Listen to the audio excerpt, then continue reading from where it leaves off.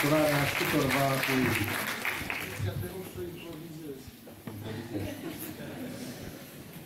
Uh, Stimați prieteni, vă spun și eu bună seara, e minunat să fim cu toții la acest eveniment.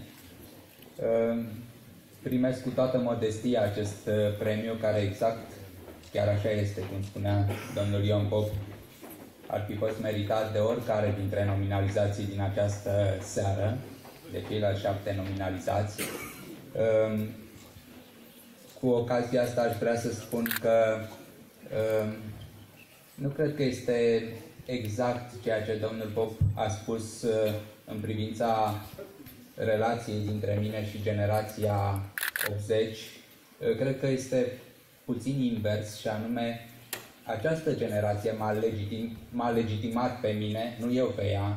Nu sunt eu cel ieșit în fața acestei generații, ci sunt produsul acestei generații, uh, pentru care am avut întotdeauna o iubire extraordinară.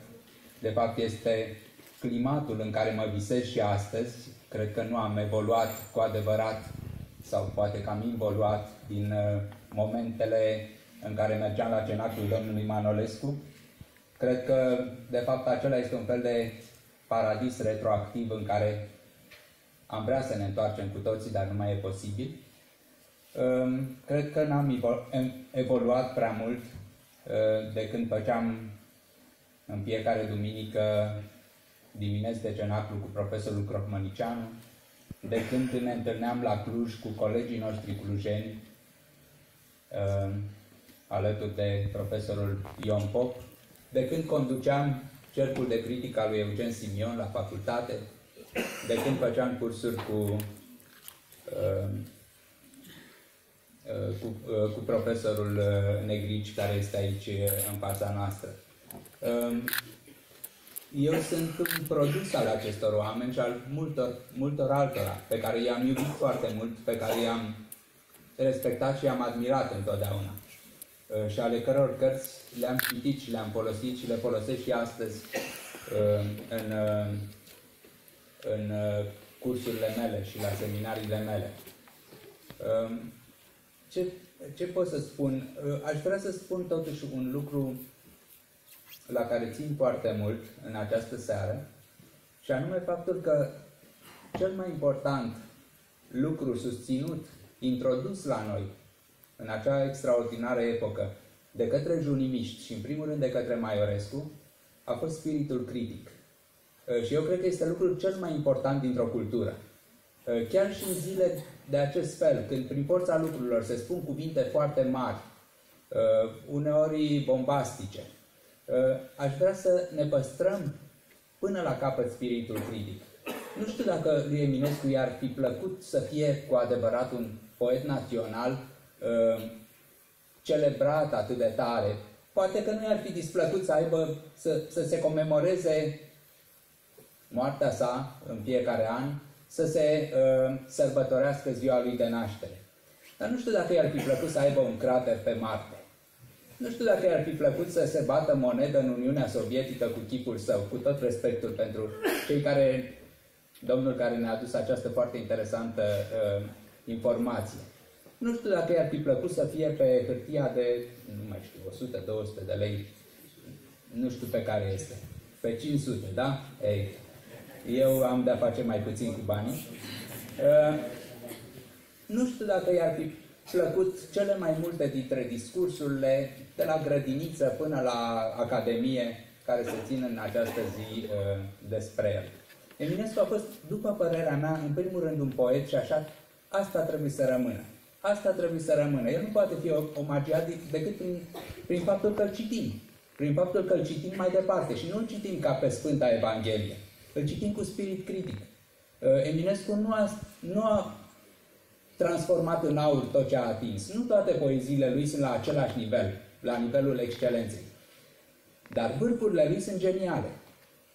Vă spun acest lucru și vă rog să mă, să mă credeți pe cuvânt, pentru că, deși nu mă numesc și nu am fost numit niciodată un eminescolog, totuși Eminescu a fost obsesia vieții mele și este în continuare obsesia vieții mele și eu cred că nu există un scriitor român care să fie atât de fascinat și impregnat pe de altă parte de Eminescu cum am fost eu întotdeauna.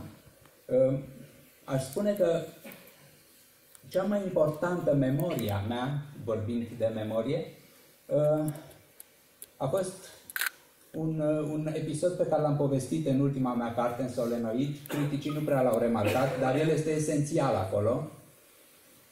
Uh, a fost legat de faptul că la vârsta de 9 ani am citit prima dată proza lui Eminescu. Fără să știu că este proza lui Eminescu. Auzisem de numele acesta, dar nu mă interesa. Pe copii nu interesează numele autorului, titlul cărții și așa mai departe. Pur și simplu tata cumpărase din întâmplare, pentru că nu era un mare cititor, cumpărase proza lui Eminescu, a apărut atunci și cred că uh, prefațată de Eugen Simion, prin 60 și ceva. Și ai mei mi-au dat această carte în tabără, în prima mea tabără, din cla- dintre clasa 1 și a doua. Am fost la Posada trei săptămâni. Prima mea tabără, prima mea plecare din mijlocul familiei. Și acolo la Posada, în prima zi în care am fost, uh, în care am ajuns uh, acolo, la faimosul castel uh, aristocratic de acolo, neavând ce face, necunoscând încă copiii cu care urma să devin prieten, am început să citesc. Și am început cu Avatarii Faraonului Tla. Citisem până atunci povești pentru copii. Când am dat de Avatarii Faraonului Tla, am avut, un, am avut, cred că, șocul de cititor al vieții mele. Eram în același timp înspăimântat, fascinat și nu puteam lăsa cartea din mână. Ajunsesem la, ace, la acea scenă în care bătrânul rege Tla coboară sub piramidă și acolo se cască o cavernă colosală, luminată de o mare torță. Și în mijlocul cavernei este un lac. Și în mijlocul lacului este o insulă. Și în mijlocul insulei sunt două morminte, între care unul al reginei și celălalt care l aștepta pe regele Tla. Ei, aceste scene grandioase, acest uh, spirit colosal al, uh, al prozei lui Eminescu, acest, acest spirit urieșesc, cum spunea el, uh, pe mine m-a, m-a, m-a ridicat de la pământ în acel moment. Țin minte că eram într-un leagăn și leagănul se legăna și eu nu mai eram...